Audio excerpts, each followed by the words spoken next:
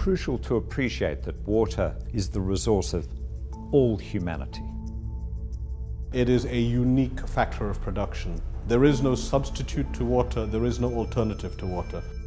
Water crises in terms of drought, floods and pollution are a major threat to business and society. Globally, there are estimated to be over 700 million people without improved drinking water supplies. Addressing water issues means you're addressing inequality, means you're addressing issues of social values, you're addressing politics. Looking forward over the 21st century, we will face more instances of conflict over water use. Unless business, government, and society take action to provide for this infrastructure.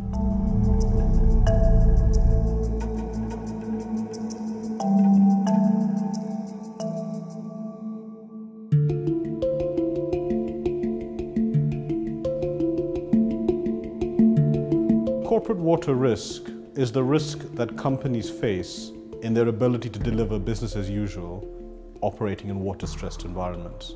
But it's also about going from being eco efficient to changing the technology itself that relies on water over the very long term. And so the challenge that we find ourselves engaging with predominantly now is how do companies work with other stakeholders, including regulators and government, to ensure not just that supply is available, that infrastructure is sufficient, but the mechanisms of sharing and distribution are equitable and palatable to the communities in which companies operate.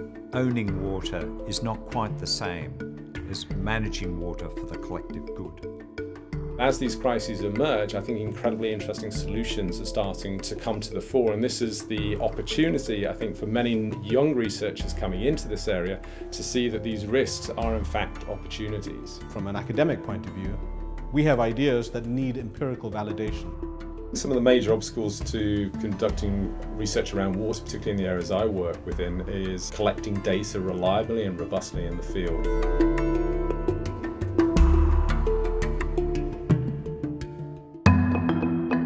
Some of the things coming out of the research uh, include uh, improved uh, management of access to water through smart hand pumps, which is a new concept that was introduced by Oxford University. One third of the hand pumps in sub-Saharan Africa are broken at any given time. So with our smart hand pump project, we tried to address this challenge by um, finding solutions on three levels, the operational level, the financial and the institutional level. People need to drink each and every day, and if it takes weeks to get these things repaired, they go to alternative sources which are often dirty and more distant, and then they don't really want to pay to fix their hand pump. What we've designed here is a device that fits inside the handle of a hand pump. It measures the movement of the handle, turns that into a measure of how much water is being abstracted from the aquifer, and then that's transmitted by SMS um, to a central database, which means we can monitor usage and, more importantly, breakdowns of the pumps.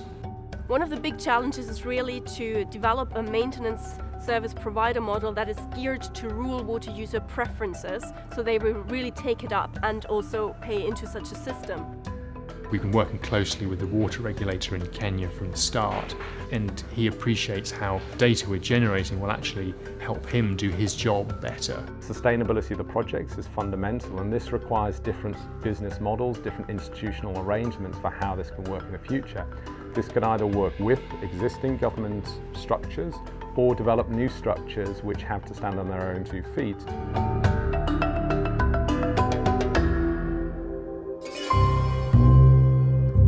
Water is a local issue. Water is used at the point of production uh, and companies tend to look at the country level or at the market level as to what their challenges are. So the issue that we find when we research corporate water risk is at the parent level, at the top level of a company, the challenge is one of disclosure. At the local level, where you're dealing with plants, management and local operations, the challenge is more immediate. Water, of course, is not only important to individual companies, it's important across industry sectors. And of course, investing in water for the future now actually encompasses the finance industry as they invest in infrastructure. And investing in infrastructure, of course, is a very long lived asset. So that companies that rely on water, the investment industry itself, as it comes to invest heavily in infrastructure that is water related, now come to see that together they have a big stake in water resources. And of course, that's not only an issue in developed economies, but particularly in underdeveloped or developing economies where infrastructure is in massive short supply. Corporate chief executives, boards must take more responsibility for the water question. To do so, they must be far more attuned to society's interest in water, as well as their own corporate interest in water and how that management process takes place. We talk about risk and we don't often talk about the counterpoint to that, which is return. And what we mean by that is the benefits that companies themselves can leverage. These, these benefits are obviously partly direct in terms of securing access to supply and services, but they are wider than that because in, in providing these infrastructure and solutions, they're helping the communities and societies in which they operate.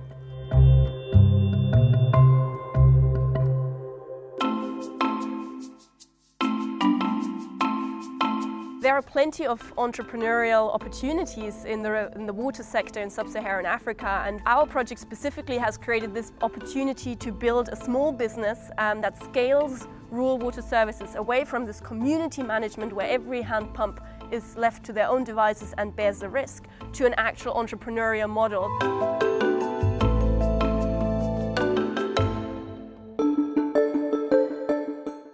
Were able to reduce the time hand pumps are broken from 27 days on average to less than three days.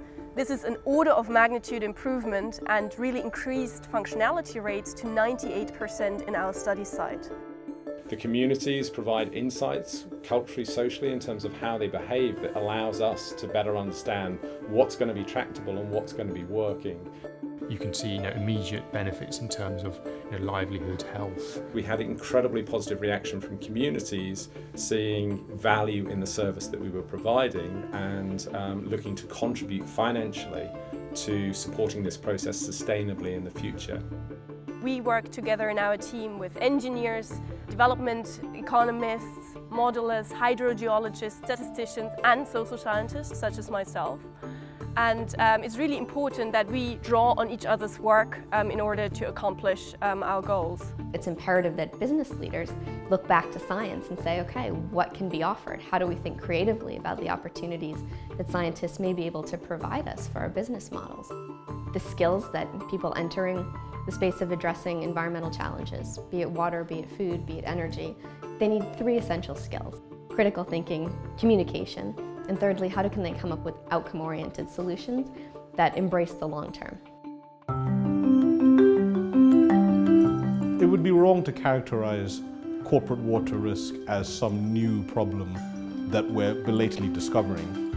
What's really changed is marginal growth is coming from water-stressed environments. Uh, emerging markets is a very good example of this. Corporations are starting to see that an effective management of water resources may be an investment in the future that will realise upside potential. We want something that can operate at scale, at low cost and be sustained over time. I think the future for corporate water engagement is actually a very exciting future. It is a future about partnership. It's understanding risk and return together. It's leveraging research that is done at universities such as ours and other centres around the world, working with companies to find the solutions that will move us forward.